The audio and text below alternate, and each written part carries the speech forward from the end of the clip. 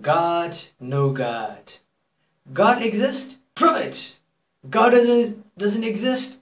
What started the Big Bang? The debate between theist and atheist is never ending. What matters though is, do you feel a divine presence in your life?